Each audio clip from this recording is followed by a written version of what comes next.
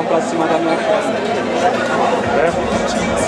Foi ele que começou. Esse cara é ponto gritando, você sabe, né? ele tá camisa na frente. Esse é o cara dos quilos lá embaixo.